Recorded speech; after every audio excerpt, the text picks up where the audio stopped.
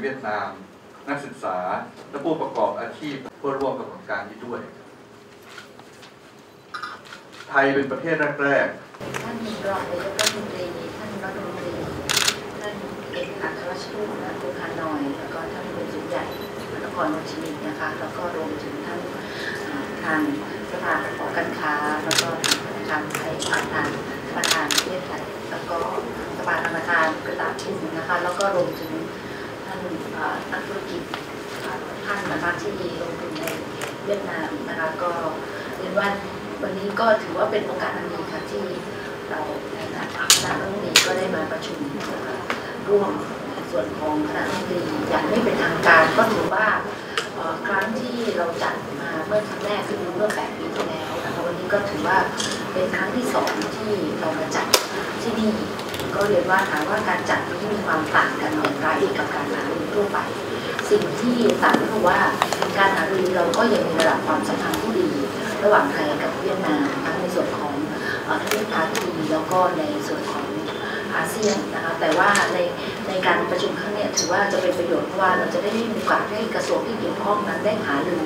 ในหัวข้อที่เกี่ยวข้อง ก็ถือว่าเป็นการยกระดับความเป็นหุ้นส่วนทางวิทยาศาสตร์ร่วมกัน แล้วหัวข้อที่เราคุยเนี่ยก็จะมีสามหัวข้อใหญ่ๆนะคะก็เดี๋ยวขออนุญาตเล่าไปในรายละเอียดเพื่อท่านจะได้รับทราบว่าเราได้มีการเอ่อเห็นชอบในความร่วมมืออย่างไรบ้างนะคะอันแรกก็เรื่องของฝ่ายการเมืองและความมั่นคงนะคะนี่เราก็มาพูดถึงการขยายความร่วมมือเรื่องของอาชญากรรมข้ามชาติ ยาเสพติดการค้ามนุษย์ซึ่งตรงนี้ก็จะเป็นประโยชน์ในแง่ของการดูแล คนไทยด้วยนะคะแล้วก็ทั้งสองประเทศด้วยนี่ก็จะเป็นความร่วมมือที่เราก็จะร่วมมือกันตั้งแต่เรื่องของการเตรียมป้องกันการช่วยเหลือดูแลหรือว่าถ้าเกิดการเกิดเกิดกรณีมีปัญหาจะทำอย่างไรนี่คือเกราะโครงที่เราคุยกัน พร้อมกับการแลกเปลี่ยนข่าวสาร ในส่วนของสำนักงานข่าวกรองเพื่อให้เราได้รับข้อมูลที่ทัน และท่วงทีที่สำคัญเราก็พร้อมที่จะช่วยเหลือดูแลประชาชนทั้งสองประเทศนนี้ก็เป็นกรอบอันหนึ่งที่เราเห็นชอบด้วยกันนะคะแล้วก็ในเรื่องของอการช่วยเหลือทางด้านบรรเทาสาธารณภัยนะคะหรือภัยพิบัติต่างๆนี่ก็จะเป็นในส่วนหนึ่งเหมือนกัน เช่นกันว่ากรณีของภัยพิบัติเราจะร่วมกันอย่างไรในภูมิภาคโดยเฉพาะเวียดนามกับไทยในส่วนของรุ่มแม่น้ำโขงก็เป็นส่วนหนึ่งที่เราก็ต้องคุยกันตั้งแต่เรื่องของการ บริหารจัดการน้ำว่าจะบริหารอย่างไรนะคะ ให้น้ำนั้นสัมพันธ์กันทั้งทุกประเทศเพราะว่าบางทีเราแก้ปัญหาที่ประเทศเรา ก็จะเจอที่นี่อยู่ฉะนั้นตรงนี้เราก็จะคุยภาพใหญ่เลยนะคะในกลุ่มรุ่นน้ำโขงแล้วก็ฉะนั้นน้ำก็จะใช้ประโยชน์อย่างเต็มที่ เพื่อป้องกันภัยพิบัติแล้วก็ไปใช้เพื่อภาคการเกษตรอันนี้ก็เป็น เป็นส่วนหนึ่งที่เราคุยกันนะคะสำหรับในส่วนของ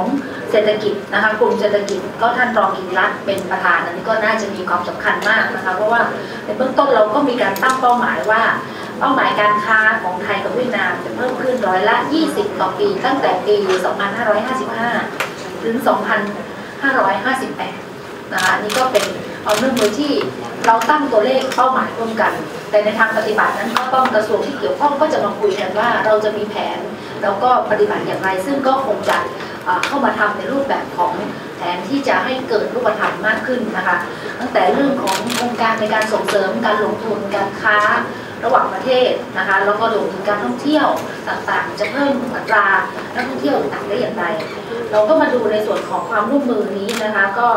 ส่วนใหญ่แล้วเราก็จะเน้นในเรื่องความร่วมมือด้านสิน เกษตรนะคะซึ่ง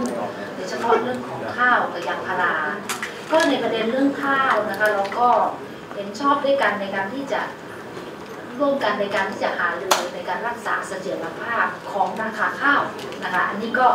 ก็เป็นส่วนหนึ่งซึ่งก็จะมีประเทศที่เป็นผู้ผลิตหลักๆนะคะห้าประเทศก็คือกัมพูชาไทยลาวเมียนมาเวียดนาม อันนี้ก็จะเป็นสิ่งที่เราจะหารือกันในการที่จะรักษาเสถียรภาพ หรือการที่จะ ทำอย่างไรในการร่วมมือให้เราเป็นแหล่งอาหารของโลก ซึ่งถ้าท่านได้ติดตามข่าวจากรัฐบาล ซึ่งล่าสุดที่ท่านไปคูเวตก็ได้มีการพูดคุยกันเรื่องของความมั่นคงทางอาหารกับพลังงาน ถ้าตรงนี้เราสามารถที่จะจับมือร่วมกันใน 5 ประเทศนี้ได้ เราก็สามารถที่จะมีอาหารในการรองรับประเทศในกลุ่มภูมิภาคของเราขณะเดียวกัน เราก็สามารถที่จะไปขายในกลุ่มที่มีความต้องการที่ตรงกัน นะคะขณะเดียวกันพลังงานก็จะเป็นส่วนหนึ่งที่เราก็จะทำความแลกเปลี่ยนนี้นะคะนี่ก็ก็เห็นชอบในเรื่องของการแลกเปลี่ยนเริ่มต้นของทางด้านวิชาการ แล้วก็การตลาดของข้าวนะคะนี่ก็คงจะไปพูดคุยกัน ซึ่งในตรงนี้ก็จะเป็นหน้าที่ของทางกระทรวงพาณิชย์ทั้งสองประเทศที่จะคุยกันนะคะ ส่วนยางพารายางพาราเนี่ยเราจะมีการประชุมนะคะในเรื่องของยางพาราที่เมืองไทยนะคะ เพราะว่าวันนี้เวียดนามก็ถือว่าเป็นผู้ผลิตรายที่4 ของของโลกนะคะ เราก็ได้เชิญเวียดนามเนี่ยเข้าไปประชุมกับเรานะคะ ซึ่งเราจะจัดในเดือนธันวาคมนี้ ซึ่งเดิมทีเรามีสามประเทศที่ได้นัดหมายกันไว้ก็คืออินโดนีเซีย แล้วก็มาเลเซียแล้วก็ไทยวันนี้ก็ได้เชิญเวียดนามก็ได้ตอบตกลงตอบรับที่จะไปพูดคุยกันหารือกันอันนี้ก็เป็นความก้าวหน้าอย่างหนึ่งนะคะ แล้วก็เรื่องของ connectivity นะคะ หลายท่านคงคงทราบจากข่าวที่ เราได้มีการพูดคุยกันในส่วนของ connectivity นะคะก็คือส่วนของตะวันออกในตะวันตะวันตกนั้นนะคะก็มีเส้นทาง 3 เส้นทางที่เราเห็นชอบด้วยกัน ซึ่งมันจะเป็นเส้นทางหลักๆ ที่ผ่านจากลาวจากไทยนะคะมาเวียดนามแล้วก็ไปลาวผ่านผ่านผ่านไทยลาวแล้วก็เวียดนามนะคะตรงนี้ซึ่งก็จะมีทั้งหมด 3 เส้นหลักนะคะที่เห็นชอบด้วยกัน ซึ่งเวียดนาม อยู่ตรงกลางเนี่ยเขาก็จะพยายามที่จะช่วยเหลือเราในการที่จะอำนวยความสะดวกในการเส้นนั้นด้วยนะคะ ก็คือ R9 นะคะตั้งแต่ในส่วนของมุกดาหาร สวรรค์เขตเวดานังนะคะนี่ก็จะพัฒนาในการให้ให้ทั้งสามประเทศเนี่ยไปเชื่อมโยงกันไปถึงท่าเรือแหลมฉบังนะคะแล้วก็ R8 นะคะ R8 ในส่วนของบึงการ ปากซัน วิ้งฮานอย แล้วก็กวางสี นะคะไม่แน่ใจว่าเรียกถูกหรือเปล่านะคะค่ะแล้วก็ R12 นะคะตั้งแต่ของนครพนมคำม่วนนะคะ หาดติ๋งใช่ไหมคะ วิ้งฮานอยแล้วก็กวางสีเช่นกันอ่าอันนี้เส้นนี้ก็จะเป็นเส้นนี้ตรงเนี้ยเส้นนี้ก็จะเป็นการเมื่อทำเส้นนี้เสร็จก็จะส่งเสริมเรื่องของการค้า แล้วก็ท่องเที่ยวได้เป็นอย่างดีอันนี้ก็เป็นความร่วมมือที่อ่าในทีมงานเขาก็จะนัดคุยกันในเรื่องของแบบแผนหรือแพทเทิร์นที่จะมีการคุยกันรวมท่านกิจก็ได้พูดคุยกันในส่วนของนโยบายในเรื่องของการอ่าการเงินนะคะการลงทุน แล้วก็จะมีภาคเอกชนจะมีส่วนร่วมอย่างไรในโมเดลของ PPP นะคะ อันนี้ก็จะเป็นกรอบความร่วมมือที่สองนะคะ อันที่สามก็คือเรื่องสังคมวัฒนธรรมนะคะ ก็จะแลกเปลี่ยนเรื่องของวัฒนธรรม การศึกษา แล้วก็ผู้ประชาชนในการที่จะร่วมไปมาหาสู่กันนะคะ แล้วก็ช่วยเหลือการการค้ามนุษย์โดยเฉพาะเด็กและสตรีนะคะแล้วก็มีการลงนาม MOU ในส่วนของเรื่องของแรงงานด้วยนะคะอันนี้ก็ก็ได้มีการหารือกันในส่วนนี้นะคะ แล้วก็มี ความเห็นชอบในการที่จะมองหาในส่วนของเอ่อศูนย์วัฒนวัฒนธรรมนะคะของเวียดนามที่ไทยด้วยนะคะส่วนการหารือทวิภาคีที่ฉันก็ได้ไปหารือระหว่างที่ท่านรัฐมนตรีได้หารือในแบ่งกลุ่มเป็นสามกลุ่มเลยนะคะ ก็ได้ไปพูดคุยประเด็นเพิ่มเติมนะคะ ก็คือว่าเดิมทีเนี่ยเราเองเราทำงานก็จะทำงานรายกระทรวงไป วันนี้เราก็ได้เสนอในความที่ว่าเราเป็นยุทธศาสตร์ หุ้นส่วนทางยุทธศาสตร์ก็ได้ยกระดับนะคะในการหารือก็ใช้วิธีเวทีของ Joint Commission นะคะซึ่งก็จะเป็นเรียกว่าตั้งคณะกรรมาการร่วมนะคะอันนี้ก็จะทำให้เพิ่มงานให้กับท่านรัฐมนตรีต่างประเทศท่านเอกอัครราชทูตมากขึ้น ก็คือกระทรวงต่างประเทศคงจะเป็นเจ้าภาพในการตามงานทั้งหมด อันนี้ภาคเอกชนคงจะสบายใจได้ ว่าที่คุยไปเนี่ยไม่ได้คุยเปล่านะคะคุยเสร็จจะต้องมีคนตามงานนะคะแล้วดีกว่านั้นคือดิฉันเองก็เลย ได้มีโอกาสเรียนเชิญท่านนายกรัฐมนตรี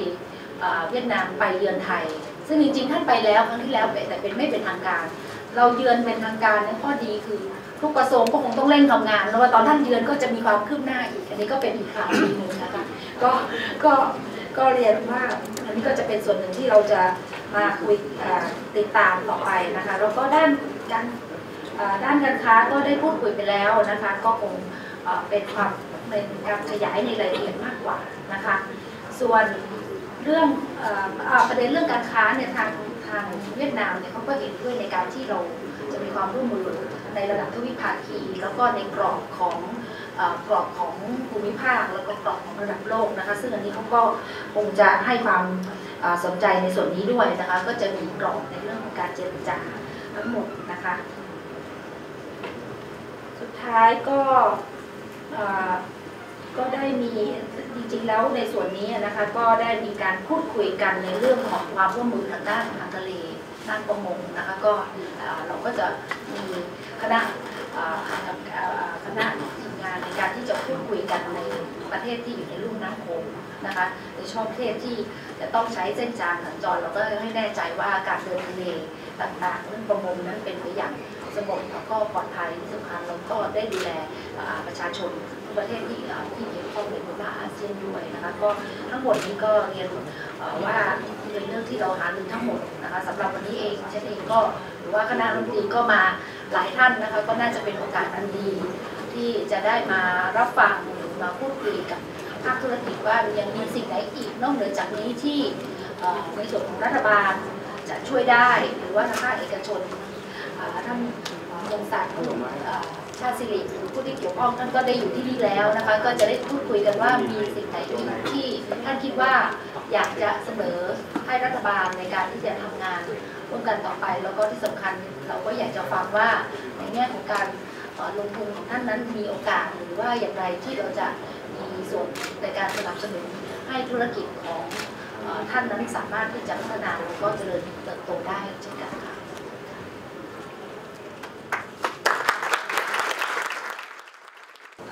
มอบของที่รเลึกก็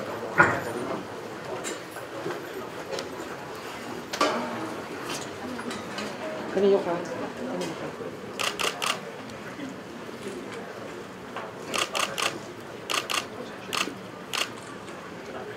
เดี๋ยวคุณดง